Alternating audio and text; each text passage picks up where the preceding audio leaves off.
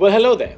My name is Vinay, and we are finally back on YouTube with some fresh new content. Today's setup is basically GH5, OnePlus 7, monitor. So, you guys will be having these three views. And what are we doing today exactly? Well, we are basically going to be doing something you have been asking so patiently, uh, so nicely for a very long time. And I, being uh, the kind of person that I am, very, very horrible with my time management, I've been delaying this. YouTube and me sort of haven't had that affection relationship yet. So we're getting there, we're figuring things out. And whilst we figure it out, here's me recording a YouTube video on editing. This is how I edit an image from scratch to the end. Yeah, let's do it. Let's go.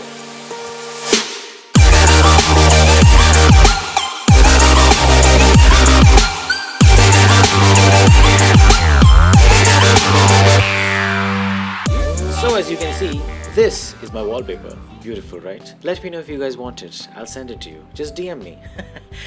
Anyways, let's get started. So this is a set of images which I haven't uploaded on um, Instagram yet.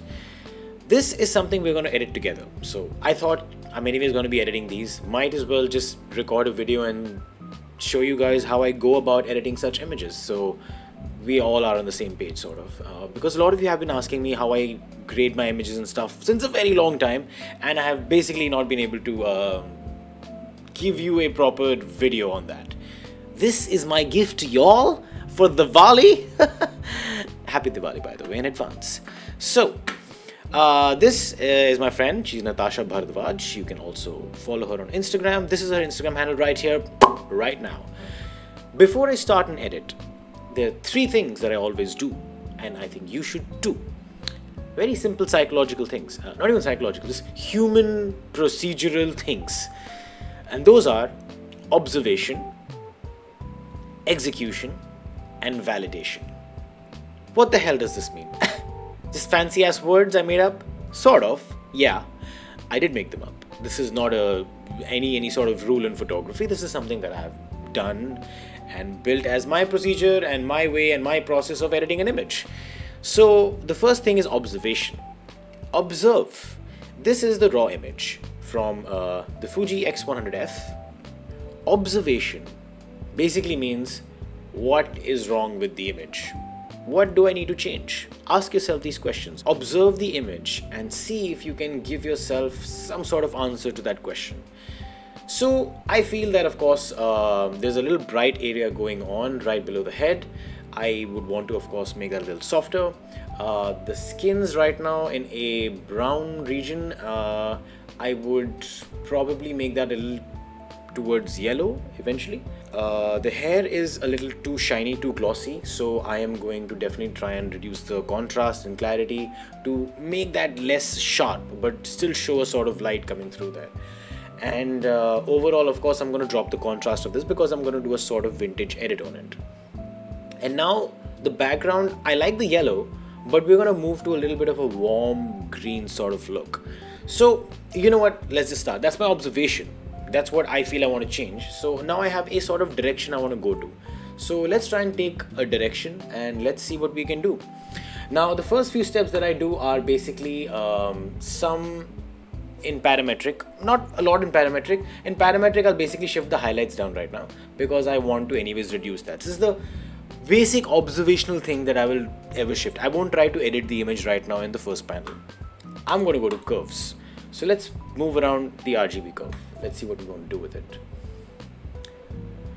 I don't want to add contrast. I want to sort of kill contrast now and we will just add them slightly less now we have an overall slightly flatter look on the image. As you can see the contrast is sort of gone right? So i like that because it'll sort of blend the skin area. So as you can see the skin area the dark parts are getting quite dark and then the overtones midtones and dark tones is having a bit of a leveling issue. So now if i just reduce the contrast entirely it's going to blend better. So that's what I'm going to do over here so far. I might just add a bit of fade let me see do I want fade? Yeah actually I'll add a bit of fade but because as you can see in the hair region the fade is actually adding a layer of black. Like it's basically crushing the shadows over there. So basically I can use the red green and blue curve later on and basically add a little bit of color in the hair in the shadows if I want to. So let's just keep that as it is over there right now. Now let's see what we want to do. We'll shift the white balance a bit. I think we can go a little warm and green okay so by doing that I basically made the image a little warmer and I've added a bit of tinge of green. The way that I wanted to go anyways I wanted to add a warm green tinge on that back color. So if we just do a back and forth you can see the background has this slightly more colorist orange green going on and all the colors as you can see right now if we go to before the model skin is brighter than the color that's coming on the skin. But now with the edit the color is brighter than the model skin. So we have a little bit more color play that's going to be going on right now. So cool. Let's go to RGB curves and let's see what we want to do. Now we have red green and blue curves. I feel the image is too yellow right now. So I'm going to go to blue first and I hope you guys know what red, green and blue curves do. When I'm in the blue curve, if I increase the curve, it's going to make it more blue. If I reduce it, it's going to make it more yellow. So if I can observe there's too much yellow, I'll go to blue and I'll increase blue. So that'll basically reduce the yellow. Just to neutralize it a bit.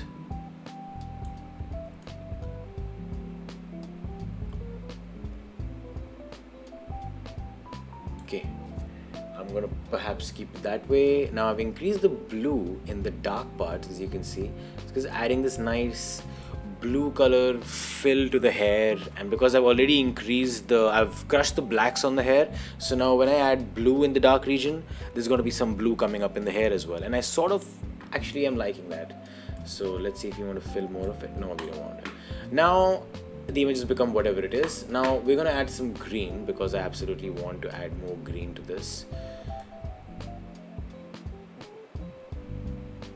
as you can see my my sort of editing is very trial and error. I don't know exactly what the hell's going to happen but i sort of know that i want to do something to the image and i just move it on both sides of the spectrum to see how it's looking. So sometimes you just come across really really cool colors really really interestingly so this is a very interesting interesting way to do that huh?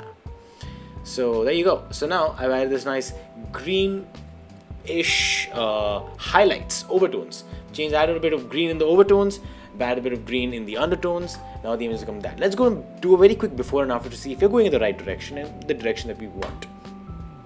Yellow warm cool looks nice very sharp very stocky. And it is green very sort of uh, a swampy feel to this. I kind of like that because Lara Croft runs around in jungle, so we're gonna keep that idea still afloat that she is Lara Croft, even though she may not be. Anyways, now let's add some red. Let's see how that. The reds will basically help us get us the warmth back in the image, and we need that. So we're gonna add some red. That probably just pushed it over the edge. I'm not really liking that, so I'm just gonna go all, uh, control and delete that random point over there. You want some warmth in the skin, and let's do a back and forth. There you go. I like this. It's a low contrast look, um, and uh, we have sort of uh, made the background a little bit of green. We will of course tweak that again in HSL and we'll get the orange out of it and we'll get some more green out of it, whatever it is. We'll see how that goes.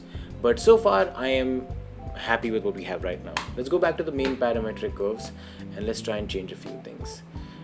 Absolute low contrast, I can, then I'll reduce the shadows. That will leave me just with magenta, so I'm not going to do that. So I'm to keep a little bit of contrast happening. I'm going to perhaps adjust the blacks a bit. I don't want the whites to pop out that much, so I'm to just drop the whites a little I'm gonna so increasing clarity will really mess up the hair but it gives this nice grungy cartoony vibe which I kind of like but I'm not gonna do it. I'm not a very high clarity person ever in my life. So I'm just gonna keep it like a very mid-tier maybe a little bit more clarity but not a lot more. This will just help accentuate a few of the features and give it a lot more outdoorsy feel sort of now vibrance we can increase it'll help us push the colors out a bit and we can keep this decrease saturation maybe just a bit maybe just a bit. Now let's go and see the before and after of the actual raw image to what we have now. Looks interesting so we have lowered the contrast. Let's see the direction the observations that we had and how we executed them. The observation that we had was the image is a bit too bright uh, in the chest area. So we want to kind of change that. Uh, we want the background to go to a bit more orange greenish sort of uh, sort of lower down the contrast. So the the shadow detail on the arm and around the skin area basically is a lot more contoured like it's more balanced and it's more uh, blended in. So let's see if our edit has done that so far okay we've reduced the, uh, uh, the the the highlights that were there right under the face those are gone the contrast is a little less so now our arm highlight blends a, a little nicer and then we have this green uh, thing going on in the background. It's still not the color that I want because we'll still reach there. Give us some time. This is just the first step. So there you go. That was your observation and that was your execution. You observe what the hell to be do. You observe what the hell needs to be done and then you executed it. So good job. Now let's move on to the next set of edits. After RGB, we're going to go to HSL. So HSL will basically help us control the exact hue we want on the skin. I wanted it to be a bit more yellow. So let's see if that looks better. Um, the exact hue on the background. And uh, yeah, that's basically the two colors that we want to do. And we want to adjust, play around with. So let's adjust the hue on the skin area.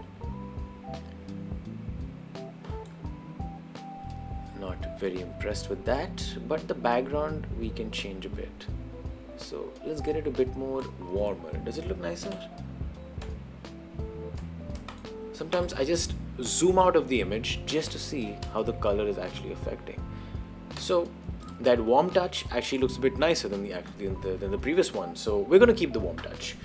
We're going to go to luminance. We're going to brighten up the skin just a little bit we're to just push up the luminance of the background maybe a little bit. So as we can see the greens are right now on her top. So we can make that brighter or darker. I think we can make it a little darker over there. Uh, we have no blues in the image anywhere. We have no cyans we have no magenta. And we have no uh, purples and magentas. Reds will always work on the lips saturation let's see what we can do with saturation do we want to make it more saturated uh, perhaps no we'll keep it just a bit of saturation. The background can be a little desaturated. So we have this so far. Alright. Let's take a zoom out look on it. That's how we have edited right now. And that's what it was before. So I like the way it's going. It's a bit less contrast, it's less starky, and we have an edit working out. It's got a bit of a magenta touch to it right now, which I think we will hopefully try and correct in a little bit. So let's go to split toning and let's add some colors here.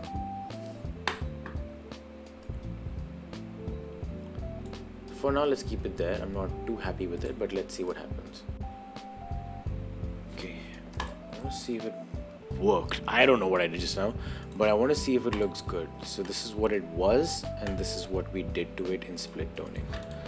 We've basically lost the reds in the image, and we've added blues over there. So am I happy about it? Am I happy about it? I'm not too sure. I do like the image to be a little red. The blue is killing the vibe. So what we did in split toning, we're gonna basically undo it. It's not working, so it's okay no problem. Sometimes you try something it doesn't work. It's cool. Let's go to camera calibration. Let's see what we can do over here.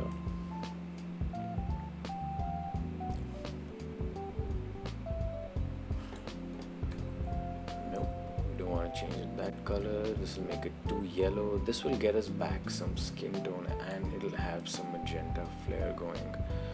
This I can do. So we can adjust the greens a bit. And then let's try and change the blues. The blues in camera calibration always have the most drastic changes. So they can basically make your image from whatever to what the hell. So uh, just work on them a little more carefully. See if it's the right direction you want to go to. But the good thing is blue saturation basically adds really nice vibrance throughout the rest of the image. So if I take all the way down, it'll tone the vibrance down very nicely. And if I add it all the way up, it'll tone it up really nicely. So blue saturation is always a very interesting thing to always tweak. So I always do blue saturation tweaks. So there we have it. We have this so far and I think I like it. I might just add a bit more contrast in.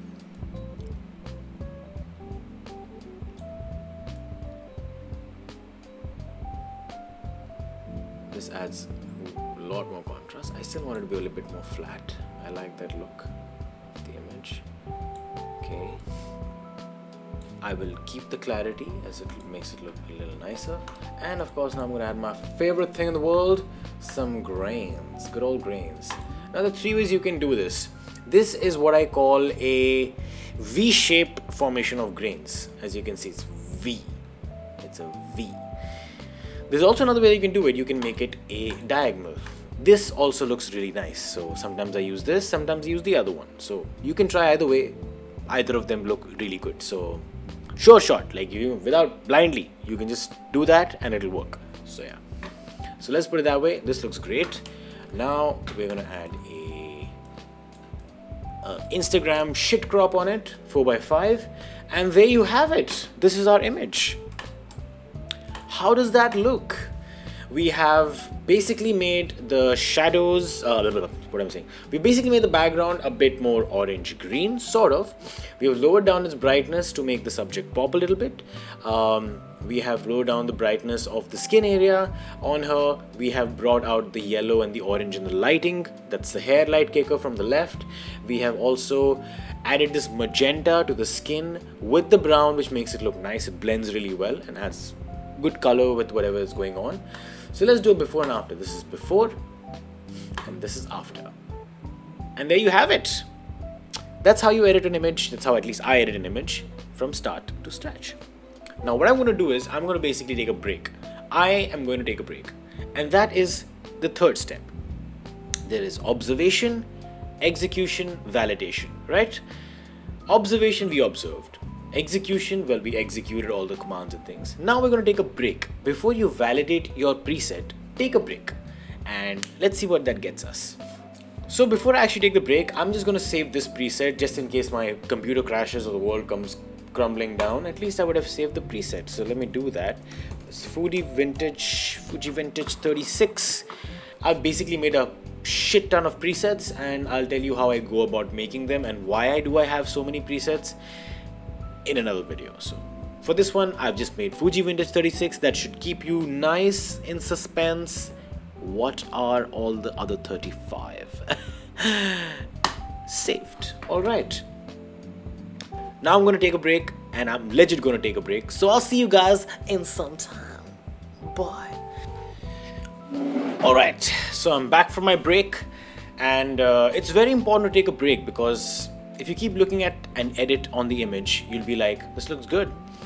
But unless and until you take a break and you don't get back and then see it fresh again, it just doesn't work the same way. So now we're going to open the image again. I had closed the window. Now we're going to open it again and we're going to see what it looks like and what we can change about it.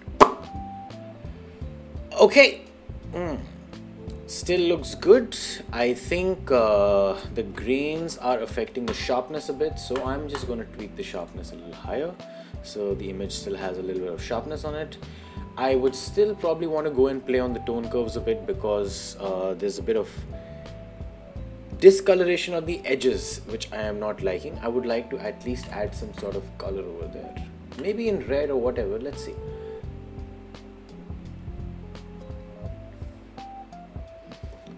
red's not the right way to go. Let's take that back. Let's probably try green. More green, more magenta. If we add more green, it basically flattens out the image a bit. Magenta makes it a bit more contrasted, so let's keep that going. But we're gonna change that, for sure we're gonna change that. Do you wanna add a bit more yellow into it?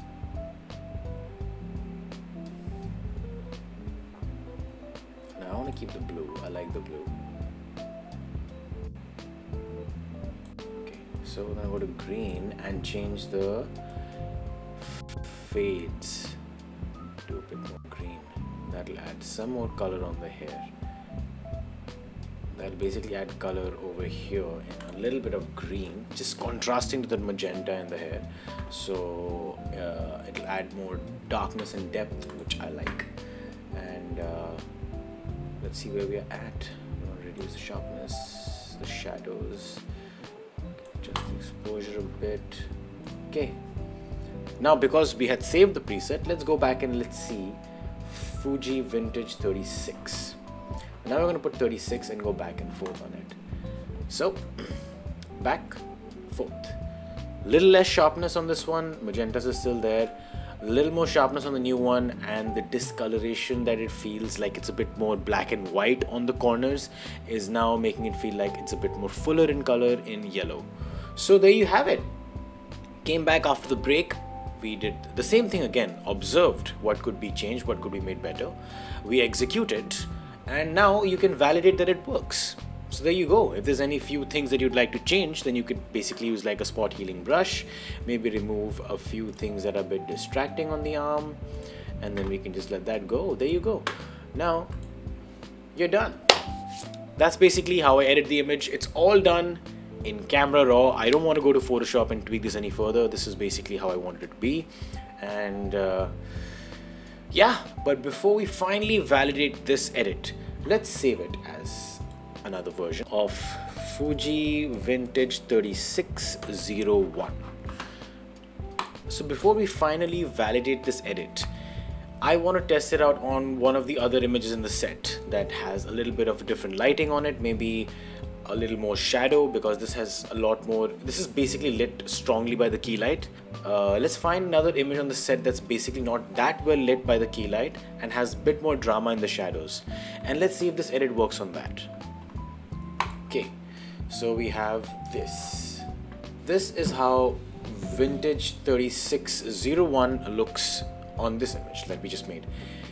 Now if I look at it starkly because there's a lot more shadow in this the magenta is really popping out and now the clarity is hurting my eyes because there's a lot more hair here. So let's see if we can change any of that. First of all let's reduce the clarity and make the image a little more softer so that the hair doesn't hurt my eyes as badly. Let's see if we can reduce the contrast a bit.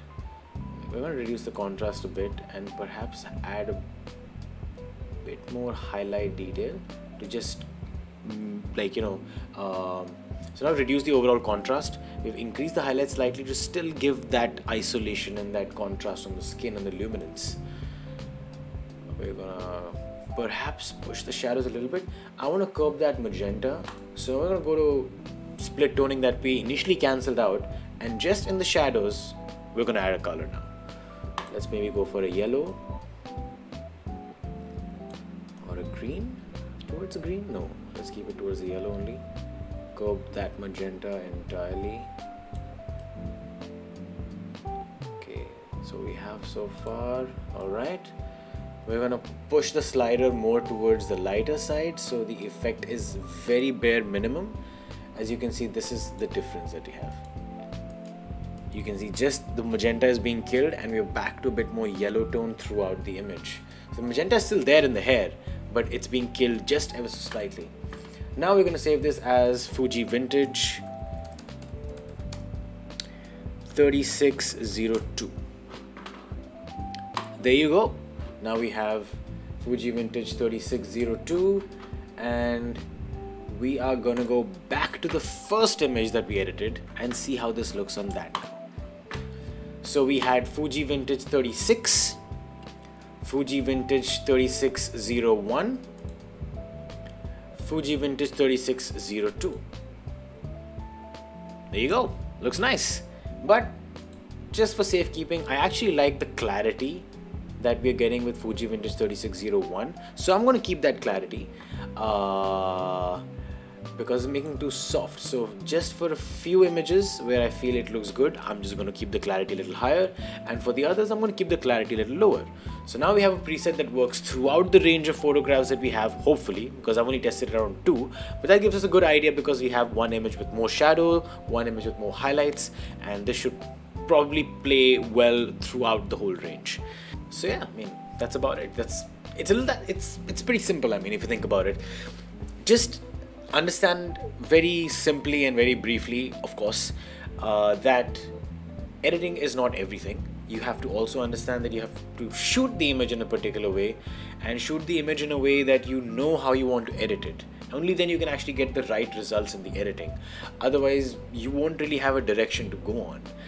So yeah that's my edit for this image and you'll be able to see the full set on my instagram profile that i'm going to share shamelessly right now follow me on instagram. Hey you you follow me on instagram. You also follow me on instagram. Yeah all right cool. So now that everyone has followed me on instagram great. I like having these two places to talk to. It's like i'm talking to more people. So it feels more lively like i'm not doing this to myself uh, alone in like loneliness. But it feels like i have a crowd. It's nice. Anyways hope you like this video. Hope you had uh, some sort of an interesting way to comprehend what i did and if you liked it you can incorporate it. Don't try to do the exact edit on your image because it may or may not work. It just depends on how the image is taken. Just keep in mind the things that i actually did throughout the image. But the process basically. There's observation execution and validation. And take a break. Yeah.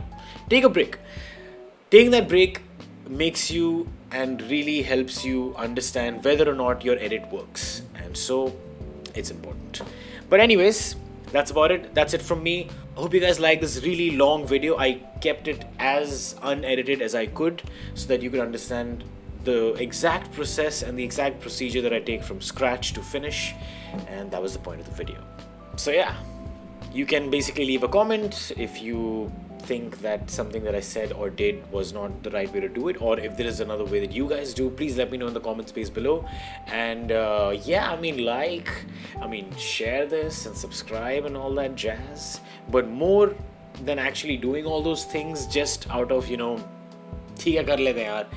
do it because you really want to do it. And uh, if you have genuinely and honestly learned something, of course let me know in the comment space below. There's more editing videos coming through. Hope you guys like this video. I'm gonna catch you in the next one. Until then wink differently. See ya